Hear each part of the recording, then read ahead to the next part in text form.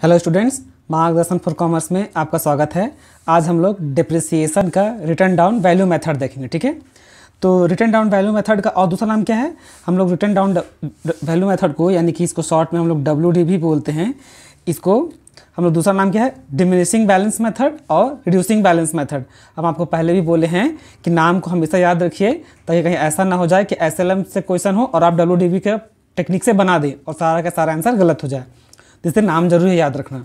तो पहला क्या है? एक डिमिनिशिंग बैलेंस मेथड और एक रिड्यूसिंग बैलेंस मेथड और इसका जो पहला मेन नाम है, so written down value method अच्छा स्ट्रेट लाइन मेथड यानी कि एसएलएम में और डब्ल्यूडी में मेन डिफरेंस क्या होता है पता है?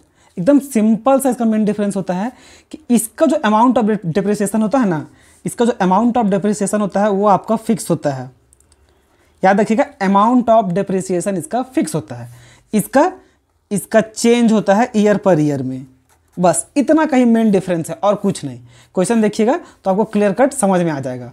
और जैसा कि आपको बताए थे कि इन दोनों, हम लोग केवल एस एल एम और डब्ल्यू डी भी रहे हैं अलग अलग मेथड ऑफ़ डेप्रिसिएशन में। और इसमें से ज़्यादा इंपॉर्टेंट कौन होता है? ये वाला होता है। क्यों? हम लोग अकाउंटिंग बॉडी चाहे अकाउंटिंग स्टैंडर्ड वो नहीं बताती कि इंपॉर्टेंट कौन है, लेकिन इनकम टैक्स डिपार्टमेंट सीधा बोल देती है कि हमको जब फाइलिंग कीजिएगा तो हमको इस मेथड से कीजिएगा। ये मेथड में केवल आपका जो इलेक्ट्रिसिटी प्रोड्यूस करता है और डिस्ट्रीब्यूट करता है, वो इस्तेमाल करती है। बाकी जितना कंपनी है डब्ल्यू मेथड को यूज़ करता है। इस कारण से जो आपका इनकम टैक्स डिपार्टमेंट है ना इनकम टैक्स डिपार्टमेंट का बोलने कारण से ये वाला थोड़ा सा ज़्यादा इंपॉर्टेंट हो जाता है। बस। अभी के लिए बस इसमें इतना ही। चलिए, अब इसका हम लोग मशीन अकाउंट देखते हैं ताकि क्वेश्चन आंसर कैसे सॉल्व होता है पता चल सके। चलिए, इसका भी क्वेश्चन सॉल्व करें, उससे पहले एक बार आप मशीन अकाउंट देख लीजिए। ये इसमें भी एकदम एसएलएम की तरह सेम मशीन अकाउंट बनता है। कुछ डिफरेंस नहीं, बस आपका जो अमाउंट ऑफ़ डिप्रिसिएशन है, वो आपका एसएलएम में फिक्स होता है और आपका डब्ल्यू भी चेंज होता है। कैसे चेंज होता है क्वेश्चन में देखिएगा, समझ में आ जाएगा। अब इसमें आपको क्या बोले थे मशीन अकाउंट में? सबसे पहले हम लोग याद रखिएगा ईयर वाइज हमेशा याद, ध्यान में रखिएगा ईयर वाइज आपको लेते हुए चलना है। तो जब पहला ईयर होगा तो जो जो मशीन आप परचेज किए हैं, उसको तो पहले आप लिख लीजिए। जैसे अगर दो मशीन परचेज किए हैं तो मशीन वन मशीन टू करके यहाँ पर दिखाइए, ठीक है? पहला काम तो ये होता है। उसके बाद उन लोग का डिप्रिसिएशन चार्ज करना है। एंड ऑफ़ द डे में एंड ऑफ़ द ईयर में हम लोग डिप्रिसिएशन चार्ज करते हैं। और ध्यान में क्या रखना है? जब भी मशीन हम लोग खरीदते हैं और जब मशीन को सेल करते हैं, उसी टाइम मशीन का जो डिप्रिसिएशन होता है ना, वो साल भर का नहीं मिड ऑफ़ द ईयर में होने के कारण एक अलग मतलब अल, जो होता है साल भर का नहीं बीच का डिप्रेशन निकलता है चार महीना पाँच महीना छः महीना का इस तरह से। अब जब सेल करते हैं तब क्या क्या क्या होता है? जैसे सेल कीजिएगा तो तीन चीज़ को ध्यान में रखेगा कि सेल करने पे आपका आपका तीन चीज़ आना ज़रूरी होता है। एक बैंक अमाउंट यानी कि सेल का अमाउंट। दूसरा अगर लॉस हुआ है तो इधर क्रेडिट साइड और प्रॉफिट हुआ तो आपका इधर डेबिट साइड ठीक है? और तीसरा क्या आना चाहिए? डेप्रिसिएशन। एक बैंक और दूसरा उस पर्टिकुलर जो सेल कर रहे हैं, देखिए, ये सेल पार्ट जो मशीन को सेल कर रहे हैं, उसका डिप्रिसिएशन और आपका या तो लॉस आएगा या तो प्रॉफिट आएगा, दोनों में से कोई एक आएगा। उसके बाद जो बैलेंस होता है, उसको कैरी फॉरवर्ड कर देते हैं। और आपको पहले बोले थे कि आपको फॉर्मेट कौन सा इस्तेमाल करना है? आपको ये फॉर्मेट इस्तेमाल कीजिएगा हर बार। जब भी मशीन को सेल कीजिएगा तो यही फॉर्मेट आपको यूज़ करना है। इससे आपको प्रेजेंटेशन भी अच्छा होगा और आपको कन्फ्यूज़न भी नहीं होगा। तो उसमें हम लोग क्या करते हैं? सबसे पहले कॉस्ट ऑफ़ मशीन जो हम लोग कैलकुलेट करके आया रहता है, वो लेते हैं। उसमें डेप्रिसिएशन माइनस कर देते हैं। तो मार्केट वैल्यू मार्केट प्राइस आ जाता है, या तो आप रियलाइजेबल वैल्यू जो बोलना है, बोलिए। उसके बाद उसमें जो सेल होता है, उसको सेल को इससे माइनस कर देते हैं। उसके बाद जो यहाँ पर आता है, वो आपका लॉस या तो प्रॉफिट होता है। अगर ये प्लस में आएगा तो ये लॉस हो जाएगा और अगर ये नेगेटिव में आएगा तो ये आपको प्रॉफिट होगा। ठीक है? तो चलिए क्वेश्चन देखते हैं ताकि आपको और अच्छे से समझ में आए। देखिए क्वेश्चन जब भी सॉल्व कीजिए हम आपको आपको पिछला वीडियो में भी बोले थे कि डिप्रिसिएशन चैप्टर का प्रॉब्लम नहीं है कि लोग लैंग्वेज में थोड़ा अजीब सा लैंग्वेज लिख देता है और क्वेश्चन को सॉल्व करने बोलता है। तो लैंग्वेज में हमेशा ध्यान रखिएगा, ठीक है? तो चलिए क्वेश्चन पढ़िए तो। क्या लिखा हुआ कि Ashok limited bought a machine on first January 2008 first January 2001 को दो लाख चालीस हज़ार का एक मशीन परचेज किया गया and spend four thousand on its carriage and six thousand towards installation cost याद कीजिए, जब आपको एस एल एम समझाया तो उसी टाइम बोले थे कि जब मशीन खरीदते हैं तो हम लोग को हिस्टोरिकल कॉस्ट कॉन्सेप्ट को ध्यान में रखना पड़ता है। यानी कि मशीन जब तक पुट टू यूज़ में ना आ जाए, उसके बाद उस पर जितना भी खर्चा पड़े, चाहे इंस्टॉलेशन का, चाहे उसका डिलीवरी का, चाहे उसको खड़ा करने में इरेक्शन का, वो सारा का सारा कॉस्ट आपका मशीन का कॉस्ट में जाकर के ऐड हो जाता है। ये आपका हिस्टोरिकल कॉस्ट कॉन्सेप्ट बोलता है। ठीक है? तो इस बात को हम लोग को ध्यान रखना पड़ेगा। यानी कि मशीन का कॉस्ट एक्चुअल में क्या हो जाएगा? दो लाख चालीस हज़ार प्लस चार हज़ार प्लस छः हज़ार, यानी कि ढाई लाख, दो लाख पचास हज़ार। अब आगे पढ़िए। फ़र्स्ट ऑन फ़र्स्ट अप्रैल 2009 में it purchase a second hand machinery for seven seventy five thousand एक अप्रैल 2009 को आपका ये सेकेंड हैंड मशीनरी खरीदा कितना? पचहत्तर हज़ार। और उसमें spend on its overhauling spend कितना किया? इसको ओवरऑलिंग में स्पेंड किया है आपका ट्वेंटी फाइव थाउज़ेंड में। एक बात हमेशा ध्यान में रखिएगा सेकेंड हैंड मशीन दिखा और तो ये मत सोच लीजिएगा कि रिपेयर का कॉस्ट है तो ये मशीन में जाकर ऐड नहीं होगा, क्योंकि सेकेंड हैंड मशीन है तो ये जो पच्चीस हज़ार दिया हुआ है, ये हम लोग अलग से रिपेयर अकाउंट में ट्रांसफ़र कर देंगे। नहीं।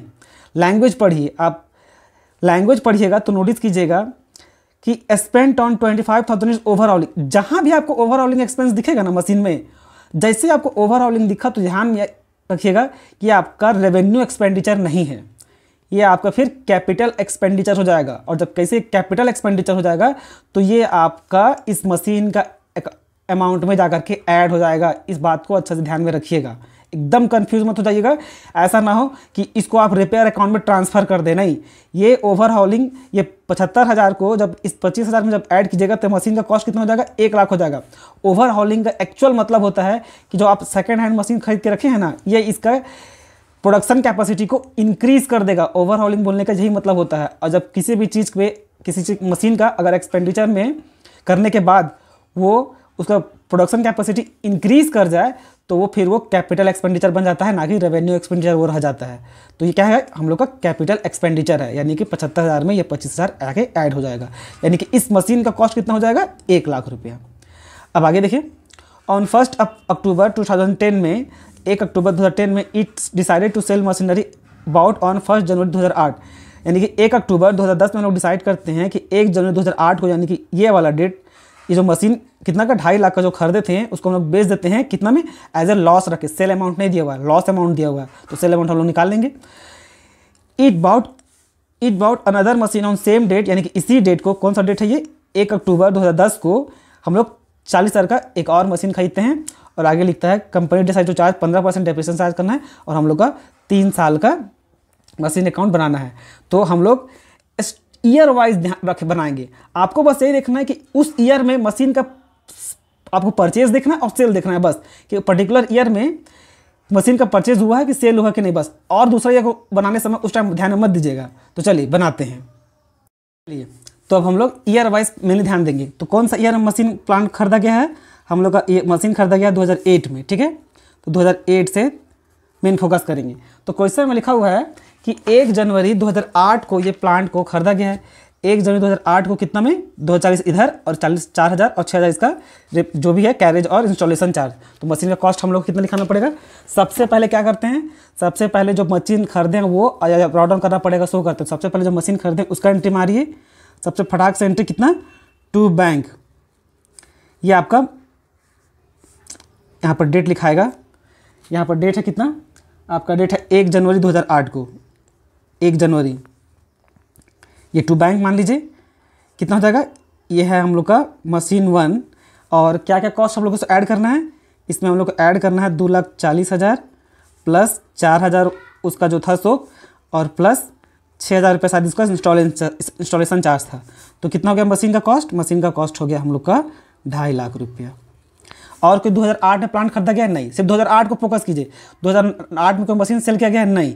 तो अब क्या करेंगे? सिंपली इसका डेप्रिसिएशन चार्ज कर देंगे। कितना का? साल भर का। इस क्वेश्चन में ना, जो बुक्स ऑफ़ अकाउंट यहाँ पर बुक्स ऑफ़ अकाउंट्स आपका थर्टी फ़र्स्ट मार्च ना करके थर्टी फ़र्स्ट दिसंबर को क्लोज हो रहा है, ठीक है? तो यहाँ पर भी थर्टी फ़र्स्ट दिसंबर लेंगे, क्योंकि डेप्रिसिएशन जो हम लोग एंड ऑफ़ द ईयर में चार्ज करते हैं। तो क्या हो जाएगा? बाय डेप्रिसिएशन मशीन वन में, ठीक है? कितना? ढाई लाख का पंद्रह परसेंट। ढाई लाख का पंद्रह परसेंट निकालिएगा तो कितना हो जाएगा? सैंतीस हज़ार पाँच सौ। तो डेप्रिसिएशन का अमाउंट कितना हो गया हम लोग का? सैंतीस हज़ार पाँच सौ। हो गया? ये हम लोग का यानी कि पहला ईयर का बन गया। अब सिंपली इसको हम लोग कैरी फॉरवर्ड कर दें। कैरी फॉरवर्ड भी कब होता है? कैरी फॉरवर्ड भी आपका last end of the end of the year में होता है। यानी कि थर्टी फ़र्स्ट दिसंबर जब हम लोग बुक्स ऑफ़ अकाउंट क्लोज करते हैं। बाय बैलेंस सी डी कितना? सिंपली इसको इससे माइनस कर देंगे तो आपको आ जाएगा। इसको ढाई लाख से माइनस कर देंगे तो कितना हो जाएगा? ये हम लोग का हो गया दो लाख बारह हज़ार पाँच सौ। दो लाख बारह हज़ार, अगर आपको दिख नहीं रहा, दो लाख बारह हज़ार पाँच सौ। ये हम लोग का पहला ईयर का तो ख़त्म हो गया। बस ईयर वाइज हम लोग मेनली फोकस करते हैं, ठीक है? अब 2009 में चले आते हैं। 2009 में चले आते हैं और सबसे पहला काम क्या होता है? सबसे पहला काम होता है हम लोग का, यानी कि ओपनिंग डेट को, यानी कि फ़र्स्ट फ़र्स्ट हम लोग का ओपनिंग डेट है। ओपनिंग डेट को हम लोग जो पहले का जो बैलेंस है, उसको हम लोग ब्रॉड डाउन कर लेते हैं। सबसे पहला काम तो यही। टू बैलेंस ब्रॉड डाउन कितना है? दो लाख बारह हज़ार पाँच सौ। ये है हम लोग का ओपनिंग डेट अब वही चीज़ सेम चीज़ जो पहले किए थे, अब इस समय वही करेंगे। सबसे पहले देखेंगे क्या आप कोई मशीन इस ईयर में खरीदे तो क्वेश्चन पढ़िएगा तो दिखेगा आपको कि हम लोग on first April two thousand nine को एक प्लांट और परचेज किए पचहत्तर हज़ार, जिसमें ओवरऑलिंग एक्सपेंस कितना है पच्चीस हज़ार, जो इसमें जाकर ऐड हो जाएगा ऐड हो जाएगा। और कोई मशीन सेल किए दो हज़ार नौ में? नहीं। दो हज़ार नौ में मशीन कोई सेल नहीं किए हैं। हम लोग दो हज़ार दस में मशीन की सेल की हैं। यानी कि ये कब प्लांट खरीदा जाएगा एक बार देख लीजिए। इस मशीन को हम लोग खरीदे हैं first April two thousand nine को। तो अब वो क्या बोले थे? जब मशीन को खरीदिएगा और बेचिएगा तो उसका डेट पे फोकस कीजिएगा, क्योंकि अगर साल का बीच में खरीदेंगे ना तो डिप्रिसिएशन का अमाउंट अलग साल भर का नहीं, दो महीना, चार महीना छः महीना जितना, जब खरीदे होते हैं ओपनिंग डेट, खरीदने का डेट से क्लोजिंग डेट तक हम लोग उसको कैलकुलेट करते हैं। तो ये खरीदा कब गया है? ये खरीदा गया है आपका एक अप्रैल को। कितना, क्या करेंगे? टू बैंक करके। अमाउंट कितना होगा? यहाँ पर दिखा दीजिए, पचहत्तर हज़ार, ठीक है, मशीन का, और प्लस जो ओवरऑलिंग था, पच्चीस हज़ार, यानी कि इसका। टोटल कितना हो गया? एक लाख। ठीक है? अब अब हम लोग को इसमें सिंपल डिप्रिसिएशन चार्ज करना है, क्योंकि तो प्लांट तो दो हज़ार नौ में हम लोग सेल किए नहीं है तो डिप्रिसिएशन चार्ज कब करते हैं? डिप्रिसिएशन चार्ज करते हैं हम लोग को एंड ऑफ़ द ईयर में, यानी कि थर्टी फ़र्स्ट दिसंबर, जिस समय बुक्स ऑफ़ अकाउंट्स क्लोज हो रहा है तो बुक्स ऑफ़ अकाउंट्स कब क्लोज हो रहा है? थर्टी फ़र्स्ट दिसंबर को। तो बाय डिप्रिसिएशन ठीक है? ये हम लोग का मशीन टू है। वो मशीन वन था। ये मशीन टू यहाँ पर लिखिए अब मशीन वन अब यहीं पर देखिए एसएलएम में क्या होता था? एसएलएम में अगर आप जो सैंतीस हज़ार पाँच सौ डिप्रिसिएशन चार्ज कर लिए हैं तो हर साल सैंतीस हज़ार पाँच सौ, सैंतीस हज़ार पाँच सौ ही चार्ज होता था। ये था एसएलएम इसलिए उसका amount of depreciation amount of depreciation fix होता है। लेकिन आपका ये जो रिटर्न डाउन वैल्यू मेथड है इसलिए तो उसका नाम ही आपका क्या है? दूसरा नाम क्या है? कि डिमिनिशिंग बैलेंस मेथड और आपका रिड्यूसिंग बैलेंस मेथड यानी कि इसका अमाउंट ऑफ़ डिप्रेशन क्या होता है? रिड्यूस होते चलता है, ठीक है? तो अब कौन सा अमाउंट पर डिप्रेशन निकालेंगे? इस अमाउंट पर निकालेंगे। कितना? कितना परसेंट पंद्रह परसेंट जो पहले निकालते थे। तो ये मशीन तो हम लोग का साल भर रहा है, ठीक है? एक जनवरी से थर्टी फ़र्स्ट दिसंबर कितना हो गया? साल भर पूरा रहा मशीन वन। तो इसका हम लोग डिप्रिसिएशन चार्ज करेंगे। कितना है? दो लाख बारह हज़ार पाँच सौ है। और इसका हम लोग साल साल भर का यानी कि पंद्रह परसेंट निकालेंगे। तो कितना हो जाएगा? हम लोग का हो जाएगा three one eight seven five कितना? Three one eight seven five देखिए पिछला साल से इस साल का डेप्रिसिएशन का अमाउंट घट गया इसलिए तो इसका नाम है रिटर्न डाउन वैल्यू मेथड यानी कि इस अमाउंट पे हम लोग जो मेन जो रिड्यूस बैलेंस होता है ना, उस पर हम लोग डेप्रिसिएशन को चार्ज करते हैं। इसलिए अब मशीन वन तो हो गया।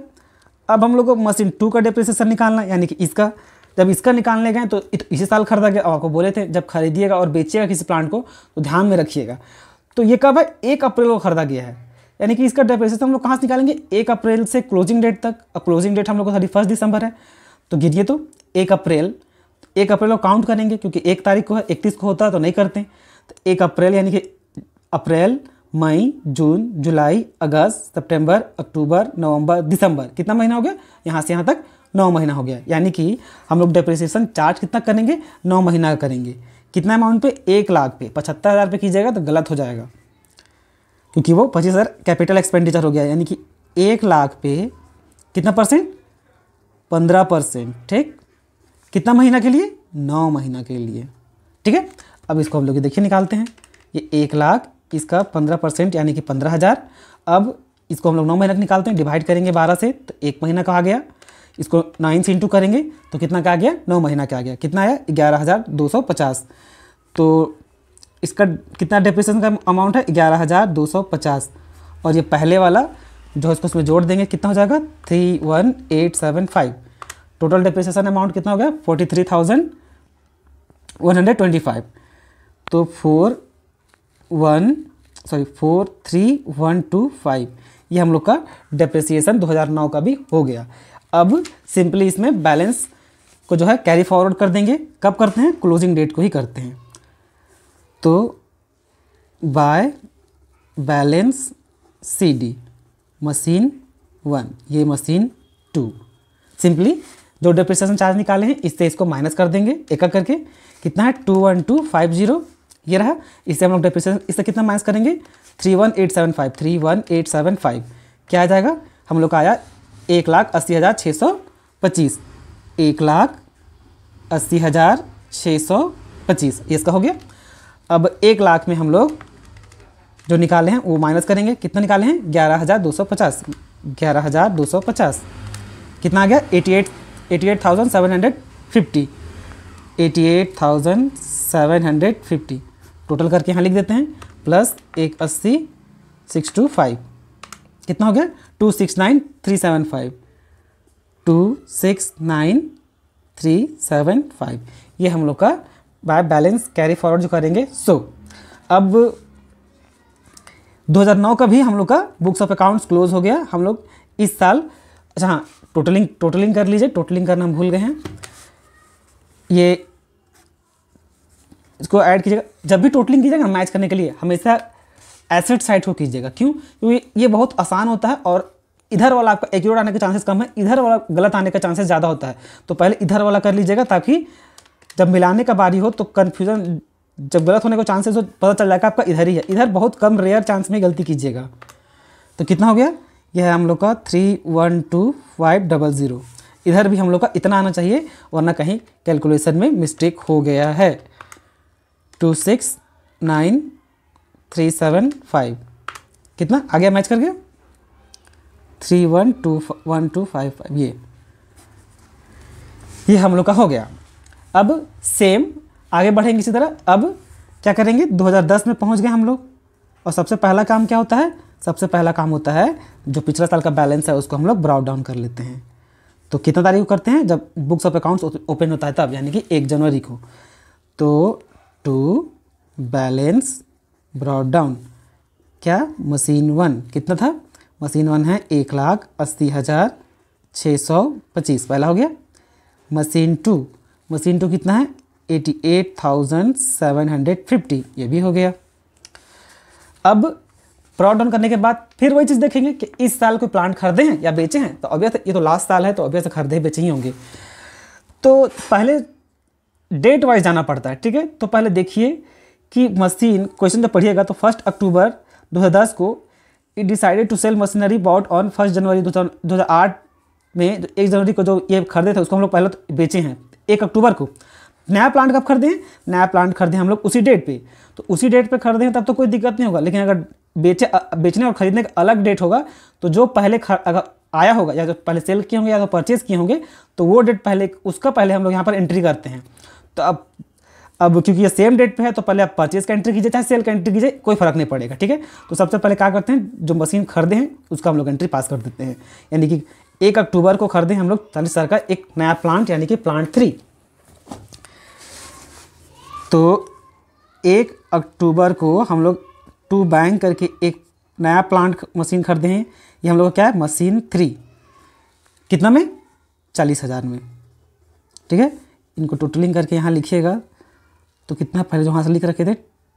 टू सिक्स ये वाला value two six nine three seven five ठीक है?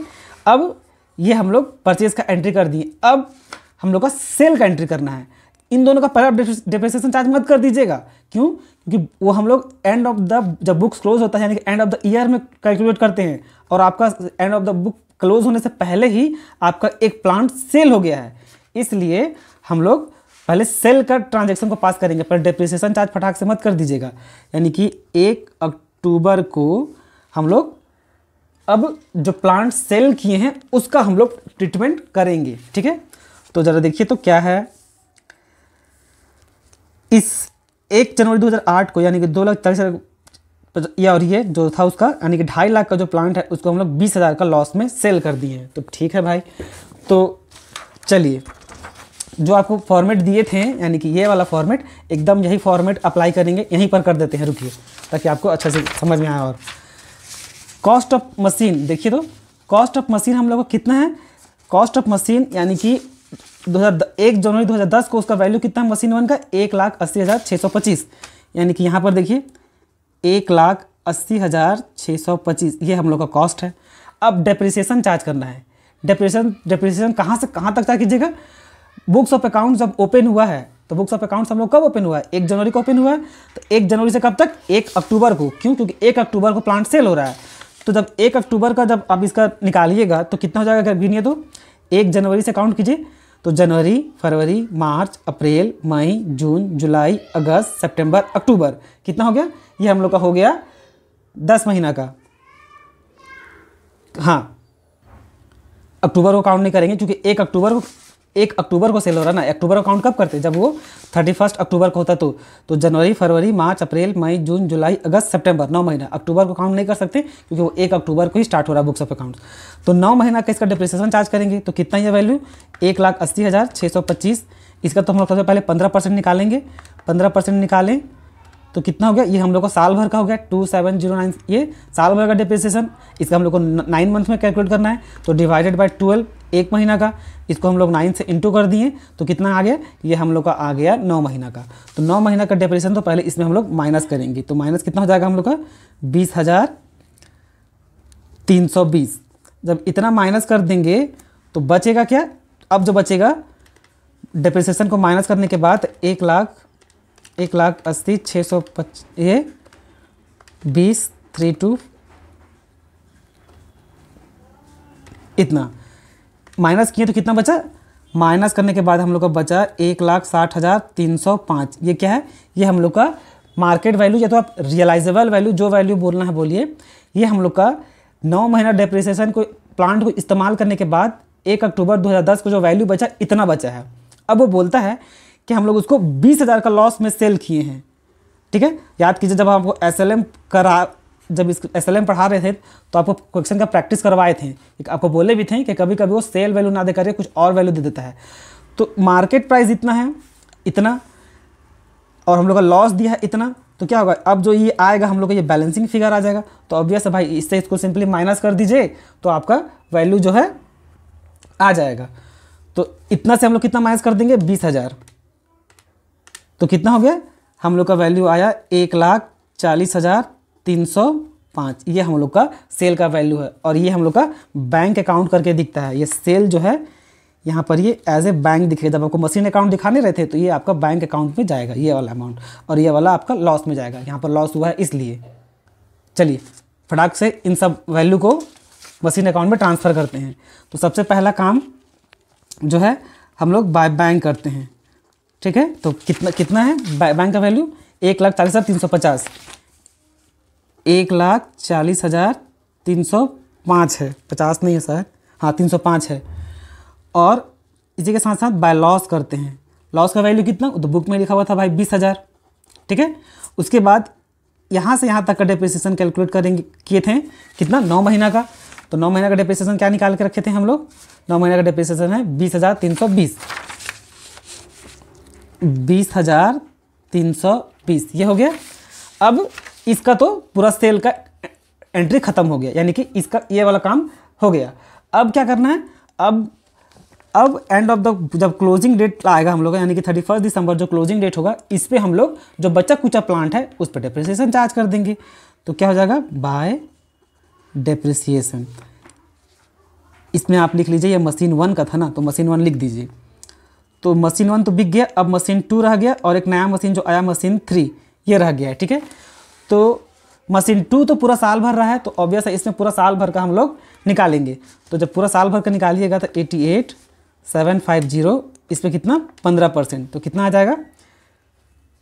रुकिए रुकिए तो कुछ लगता गड़बड़ आएगा eighty eight, seven five zero into पंद्रह परसेंट। हाँ कितना आ रहा है? हम लोग का डिप्रिसिएशन का वैल्यू आ रहा है तेरह हज़ार तीन सौ बारह। तो हम लोग यही वैल्यू लेते हैं, ठीक है? राउंड फिगर नहीं करते क्या क्या आपको जो बुक है ना, वो राउंड फिगर नहीं किया है। तो तेरह हज़ार तीन सौ बारह। एक वैल्यू हो गया। और इस प्लांट का, इस मशीनरी का कितना? चालीस हज़ार।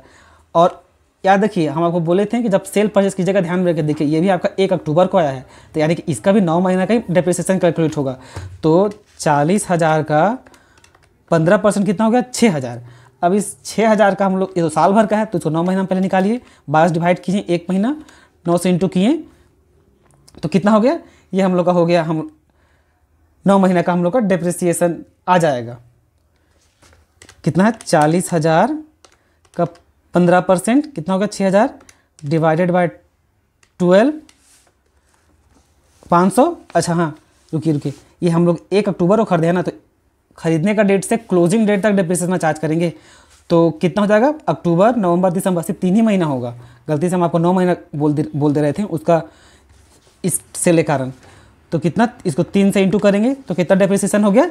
इसका डिप्रिसिएशन हो गया हम लोग का पंद्रह सौ। अब इसका हम लोग ऐड कर देते हैं। One three three one two कितना हो गया? हो गया one four eight one two अब सबका टोटलिंग कर देंगे। पहले इधर का करेंगे जो आपको पहले, जैसे आपको बोले हैं। क्यों? क्योंकि इधर वाला आपके लिए सुविधा होगा। हालाँकि अभी हम लोग यहाँ पर बैलेंसिंग फिगर लिए नहीं है। तो बैलेंसिंग फिगर लेना पड़ेगा। ठीक है? बैलेंसिंग फिगर लेना पड़ेगा। कंफ्यूज मत होइएगा कि इसका हम लोग तीन महीना का ही निकालें। क्यों? क्योंकि हम लोग जो डिप्रिसिएशन होता है, ये जो कहाँ से कहाँ तक निकालते हैं? जब उसको खरीदे हैं, वहाँ से क्लोजिंग डेट तक, यहाँ से तीन महीना का ही होगा। ये वाला में हम लोग का नौ महीना आ रहा था ओपनिंग डेट से सेल डेट तक, ठीक है? तो चलिए, इसको हम लोग बाय बैलेंस सी डी यहाँ कर देते हैं। बाय बैलेंस सी डी कौन सा डेट में करते हैं? एंड ऑफ़ जब बुक्स ऑफ़ अकाउंट्स क्लोज होता है तब, यानी कि थर्टी फ़र्स्ट दिसंबर को ही तो यहाँ पर लिखा उसको दोबारा नहीं लिखें। तो कौन सा प्लांट बच गया है? मशीन टू बचा हुआ है और हम लोग का मशीन थ्री बचा हुआ है। अभी जो आया इसी साल सो तो यहीं से माइनस कीजिए। तो कितना है? ये है हम लोग का one eight six two five minus इस साल का डिप्रिसिएशन कितना है? तेरह हज़ार। तेरह हज़ार तीन सौ बारह। कितना हो गया? हो गया हम लोग का वन सिक्स सेवन एक सेकेंड ना। ये, हम इससे माइनस कर दिए, इसलिए तो मैच नहीं कर रहा था। मशीन वन का माइनस कर दिए मशीन टू का डिप्रिसिएशन निकाल रहे हैं ना तो eighty eight seven five zero minus कितना से? One three three one two ये हम लोग का आ गया कितना? Seventy five thousand four hundred thirty eight तो यहाँ पर हम लोग जो वैल्यू लिखेंगे, कितना लिखेंगे? देखिए, यही आपसे भी जब बनाइएगा तो आप सबका भी यही सब छोटे छोटे मिस्टेक हो जाता है। ऐसा नहीं कि आपको नहीं आता है। आपको भी आता है। बस होगा क्या कि ध्यान थोड़ा हट जाता है और जैसे ध्यान हटा तो आंसर गलत हो जाता है। तो बस यही सब ध्यान, आप गलती मत कीजिएगा एग्ज़ाम में। अब मशीन टू का डिप्रेशन चार्ज करेंगे तो मशीन टू का वैल्यू कितना है? मशीन थ्री का। मशीन थ्री हम लोग खरीदे चालीस हज़ार में। मशीन से चालीस हज़ार में, अभी से हम लोग जो डिप्रिसिएशन निकालें वो माइनस कर देंगे। डिप्रिसिएशन कितना निकालें इसका? पंद्रह सौ। तो इसका पंद्रह सौ माइनस करेंगे तो कितना हो जाएगा? पंद्रह सौ माइनस करने के बाद ये हो जाएगा अड़तीस हज़ार पाँच सौ। अड़तीस हज़ार पाँच सौ। बस यही सब छोटा छोटा चीज़ को ध्यान में रखिएगा तो आपका गलती नहीं होगा। जैसे अभी मेरा से दो बार देखे तो ध्यान हट गया था और आंसर गलत आने लगा था। तो बस यही सब चीज़ को ध्यान में रखिएगा। अब ये हो गया one one three nine three eight बस। अब टोटलिंग कर दीजिए। इसका यहाँ पर टोटलिंग कीजिएगा तो देखिए तो कितना हो रहा है। इसका यहाँ पर टोटलिंग कीजिएगा तो आपका वैल्यू होगा two six nine three seven five. Plus चालीस हज़ार। कितना हो गया? इसका हम लोग का टोटलिंग हो गया तीन लाख नौ हज़ार। ये लिख देते हैं हम। तीन लाख नौ हज़ार तीन सौ पचहत्तर, ठीक है?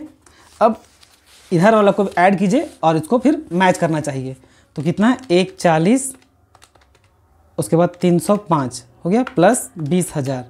प्लस बीस हज़ार बीस हज़ार तीन सौ बीस, ठीक है? उसके बाद one four eight one two, हो गया?